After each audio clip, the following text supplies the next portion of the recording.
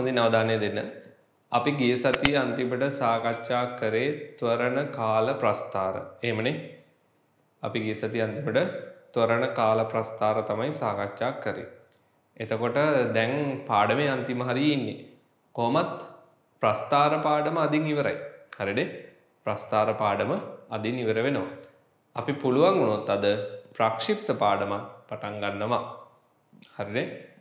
ප්‍රස්ථාර පාඩම කොහොමත් අදින් ඉවර වෙනවා. අපි පුළුවන් වුණොත් අද ප්‍රක්ෂිප්ත පාඩමත් පටන් ගන්නවා. හරිනේ? ලියන්න මාතෘකාව දුර කාල ප්‍රස්ථාර මාතෘකාව දුර කාල ප්‍රස්ථාර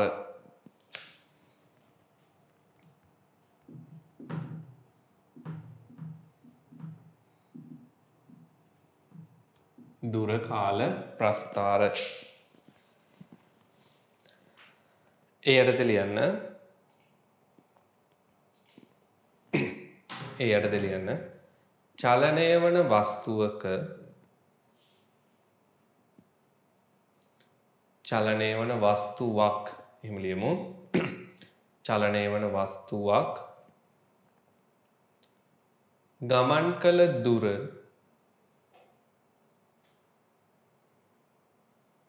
චලනය වන වස්තුවක් ගමන් කළ දුර කාලය සමග විචලනය වන ආකාරය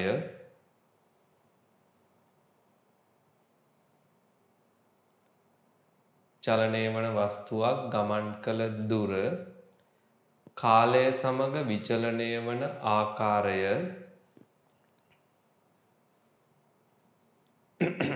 කාලය සමග විචලනය වන ආකාරය.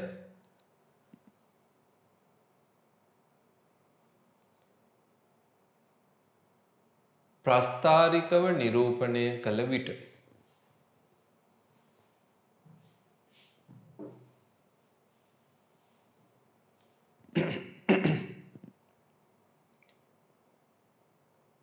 ගමන් කළ දුර කාලය සමග විචලනය වන ආකාරය ප්‍රස්ථාරිකව නිරූපණය කළ විට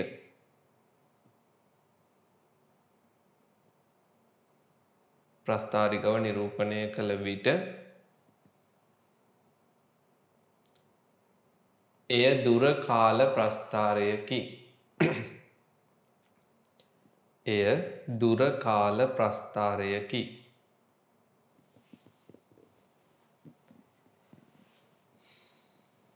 එය දුරකාල ප්‍රස්ථාරයකි. දුරකාල ප්‍රස්ථාරයක් සම්බන්ධයෙන් දුරකාල ප්‍රස්ථාරයක් සම්බන්ධයෙන්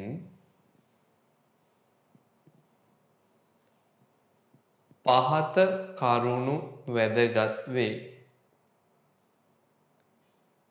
දුරකාල ප්‍රස්ථාරයක් සම්බන්ධයෙන් පහත කරුණු වැදගත් වේ. පහත කරුණු වැදගත් වේ.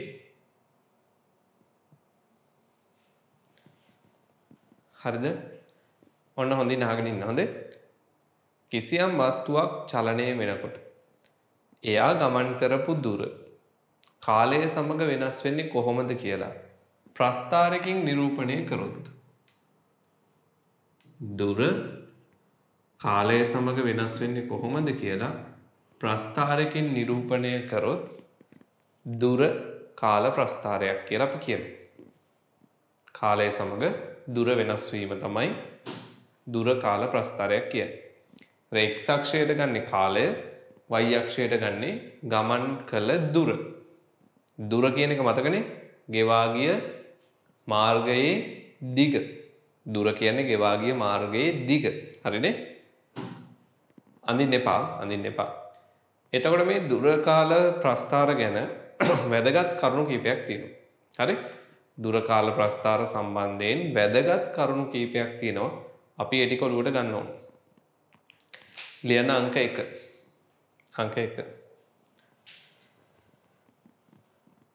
අංක 1 දුර අදිශයක් බැවින් අංක එක දුර අදිශයක් බැවින්. දුර අදිශයක් බැවින් අදිශයක් හොඳේ දුර අදිශයක් බැවින් ප්‍රස්ථාරය පවතින්නේ ප්‍රස්ථාරය පවතින්නේ කාල අක්ෂයට ප්‍රස්ථාරය පවතින්නේ කාල අක්ෂයට ඉහලින් පමණි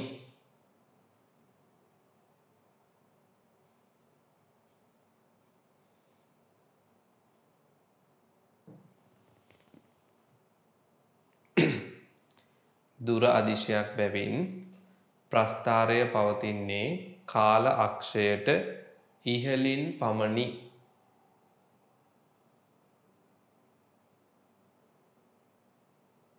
හරිනේ? මෙන්න මේ වගේ.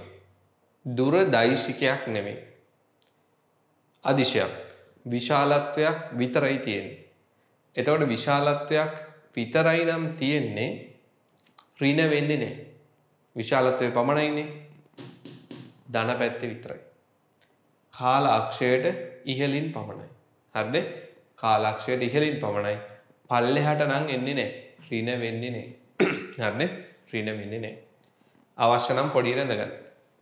ඒක අවශ්‍ය නැහැනේ ඊළඟ එකට යන්න. ඒක අවශ්‍ය නැහැ ඊළඟ එකට. අංක 2. අංක 2. කාලය ගතවන විට කාලය ගත වන විට දුර වැඩිවීම දුර වැඩිවීම හෝ නියත වීම කාලය ගත වන විට දුර වැඩිවීම හෝ නියත වීම සිදු විය හැක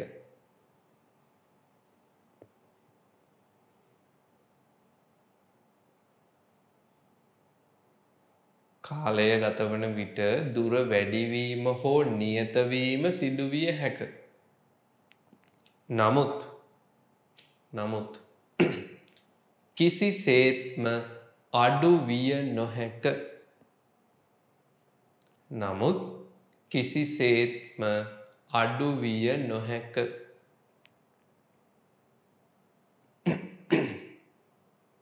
කිසිසේත්ම අඩු විය නොහැක.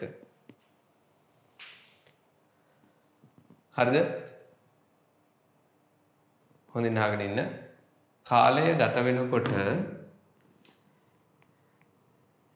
දුර වැඩි වෙන්න පුළුවන්. නියත වෙන්නත් පුළුවන්. වක්‍රයක් විදිහට වැඩි වෙන්නත් පුළුවන්. කිසිම අවුලක් නැහැ. හැබැයි කිසිසේත්ම අඩු වෙන්න බෑ. අඩු වෙන්න බෑනේ. දුර කියන්නේ ගෙවා ගිය ගමන් මාර්ගයේ දිග. වස්තුව යනකොට යනකොට දුර තව තවත් වැඩි වෙනවා මිසක් දුර අඩු වෙන්න බෑනේ. තේරෙනවද කියන්නේ? වස්තුව චලනය වෙමින් ඈතට ඈතට යනවා. හරි.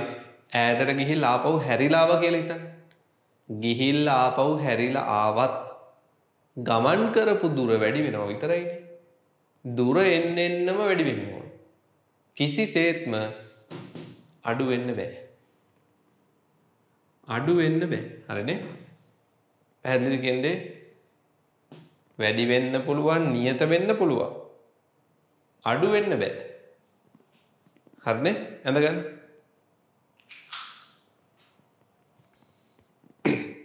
ඇඳගන්න.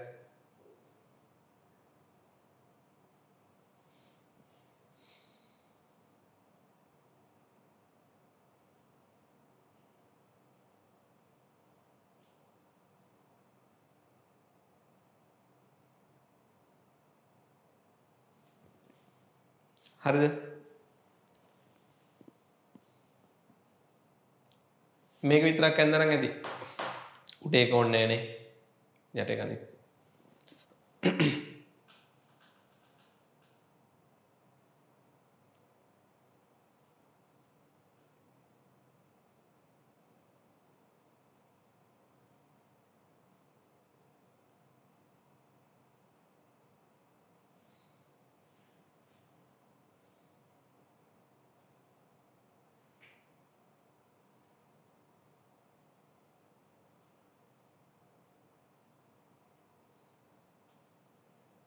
හරිද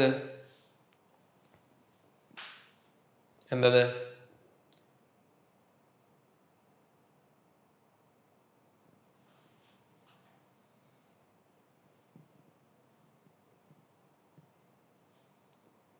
දුර වැඩි වෙන්න පුළුවන් නියත වෙන්න පුළුවන්. මං කිව්වේ අඩු වෙන්න බෑ කියලා. හොඳේ? වැඩි වෙන්න පුළුවන් නියත වෙන්න පුළුවන්. අඩු වෙන්න නම් බෑ. හරිනේ? අංක 3 අංක 3 සරල රේඛීය ප්‍රස්ථාර මෙන්ම වක්‍ර ප්‍රස්ථාරද පවතී. සරල රේඛීය ප්‍රස්ථාර මෙන්ම වක්‍ර ප්‍රස්ථාරද පවතී.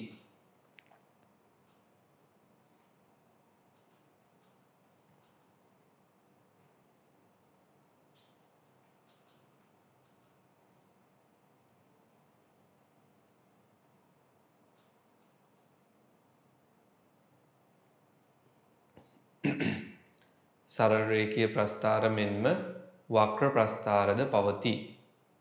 රයිට් ඊළඟ අංක 4 මේකත් හොඳට ඔළුවේ තියාගන්න ඕන එකක් හතරවෙනි එක. හොඳේ? හතරවෙනි එක ඔළුවේ තියාගන්න ඕන අනිවාර්යෙන්. හතරවෙනි එක ප්‍රස්ථාරය මූල ලක්ෂයෙන් ඇරඹීම අනිවාර්ය වේ. අංක 4 ප්‍රස්ථාරය මූල ලක්ෂයෙන් ඇරඹීම අනිවාර්ය වේ.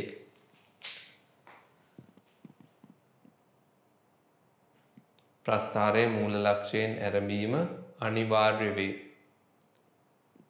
මෙහෙමයි. දුර මනින්න පටන් ගන්න බිඳුවේ.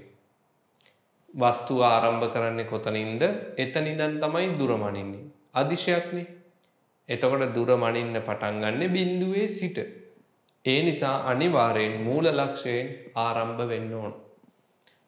ප්‍රස්ථාරය මූල ලක්ෂයෙන් ඇරඹීම අනිවාර්ය වේ. හරිනේ? අනිවාර්ය වේ. right ඊළඟ අංක 5 අංක 5 අංක 5 ප්‍රස්ථාරයේ අනුක්‍රමණයෙන් ප්‍රස්ථාරයේ අනුක්‍රමණයෙන් වේගය ලැබේ. ප්‍රස්ථාරය අනුක්‍රමණයෙන් වේගය ලැබේ. ප්‍රස්ථාරය අනුක්‍රමණයෙන් වේගය ලැබේ. ඒක අපිට මේකෙන් ගන්න පුළුවන් කෝණය ටීට නම් මේ පැත්ත delta D delta T tan theta delta D බෙදීම ඩෙල්ට T දුර වෙනස් වීමේ ශීඝ්‍රතාව එහෙනම් ප්‍රස්ථාරය අනුක්‍රමණයෙන් ලැබෙන්නේ වේගය. මම u කියලා ගත්තේ වේගය හොඳේ? tan theta u. වේගය. මේක ඇඳලා මේ ටික ලියන්න පල්ලෙහැක ඕනේ කලින් ඇඳන්නේ ඔය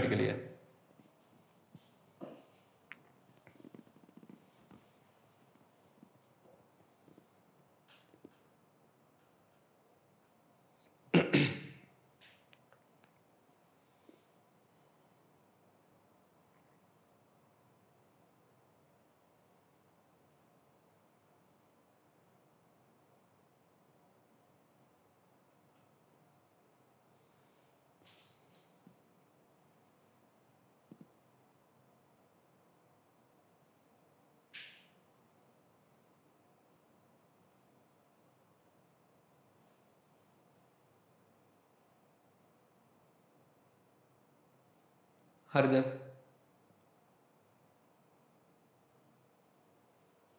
ඔන්න මුලින්නම් මම ආයෙත් කියනවා.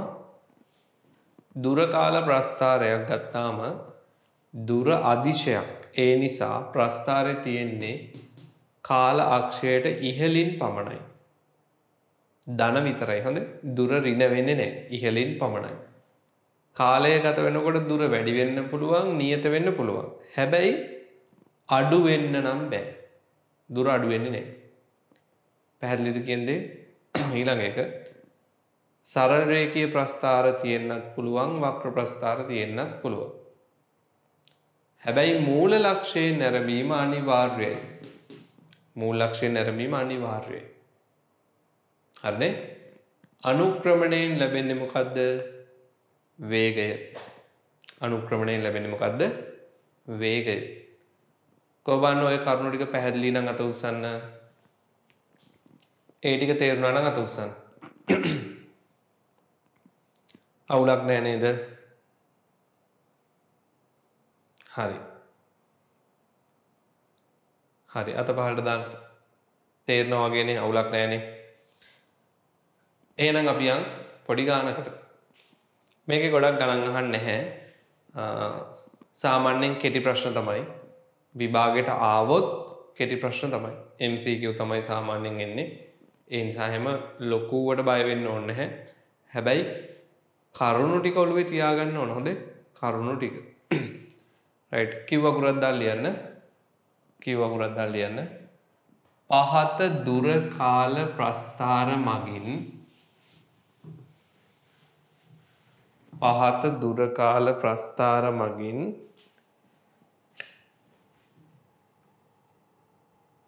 දක්වා ඇති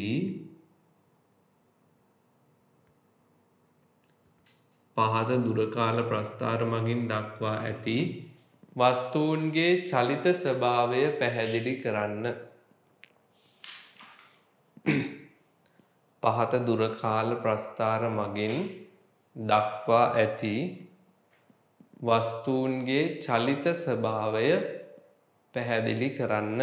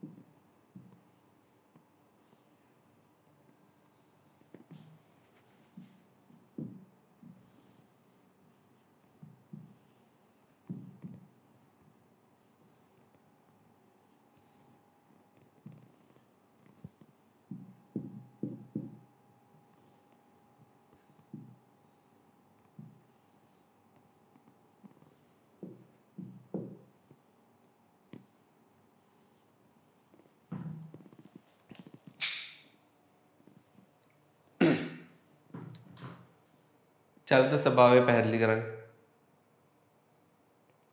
හරියට ලියන්න හොඳේ. මම විනාඩි දෙක තුනක් දෙන්නම් හරියට ලියන්න චලිත ස්වභාවය පැහැදිලි කරන්න. හරි? ඉවරද? ඉවරද? කොබාන කරපු අය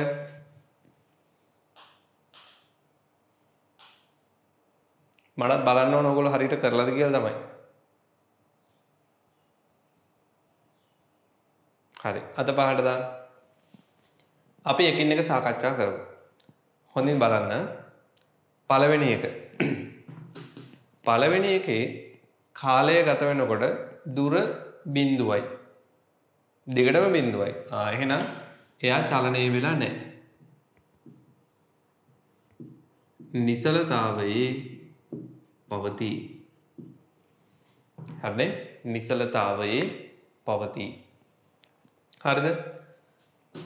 දෙවනි එකට ගියොත් කාලය ගත වෙනකොට දුර වෙනස් වෙන්නේ නෑ.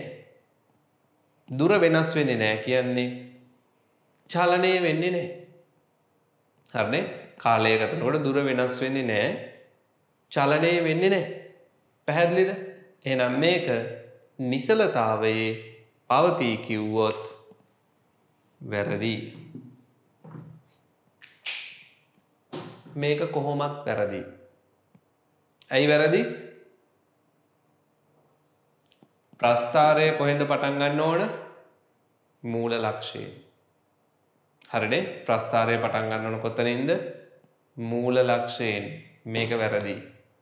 ඒක වැරදි නම් මේකත් වැරදි. මේකත් වැරදි. ප්‍රස්ථාරය පටන් ගන්න ඕන කොතනින්ද මූල ලක්ෂය. තව දෙයක්. මේක වරදින්න හේතුව ආරම්භ කළ තියෙන්නේ මූල ලක්ෂයෙන් නෙමෙයි. මේක වරදින්න හේතු දෙකක් තියෙනවා. මොකක්ද හේතු දෙක? එකක් තමයි පටන් අරගෙන තියෙන්නේ මූල ලක්ෂයෙන් නෙමෙයි. ඒක එක හේතුවක්. අනිත් හේතුව අනිත් හේතුව තමයි කාලය ගත වෙනකොට දුර අඩු වෙන්න බෑ.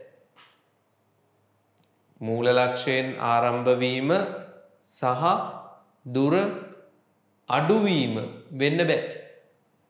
හේතු දෙකක් තියෙනවා මේ ප්‍රස්ථාරය කොහොමත් වැරදි.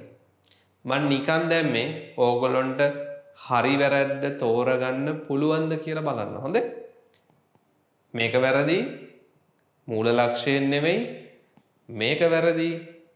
හේතු දෙකයි. මූල ලක්ෂයෙන් ආරම්භ කරලත් නැහැ.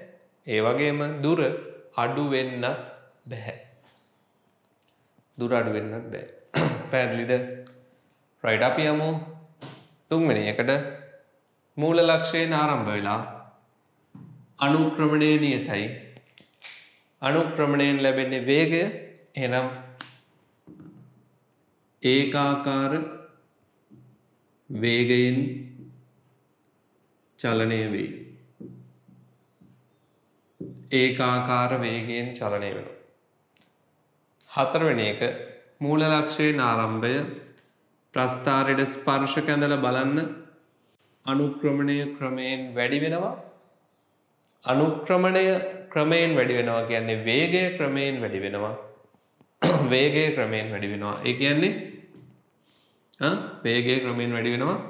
වැඩිවන වේගයෙන් චලනය වේ වැඩිවන වේගයෙන් චලනය වේ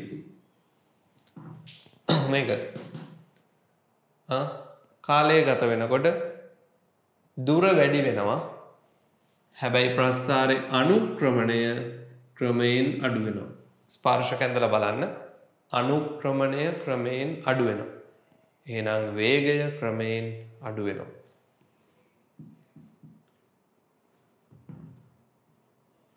අඩුවන වේගයෙන් චලනය වේ. අඩුවන වේගයෙන් චලනය වේ. පැහැදිලිද? අඩුවන වේගයෙන් චලනය වේ.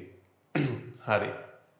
ඔන්න හයක් දැම්මට දෙකක් වැරදි හොඳේ හතරයි තියෙන්නේ එක තුන හතර පහ ලියාගන්න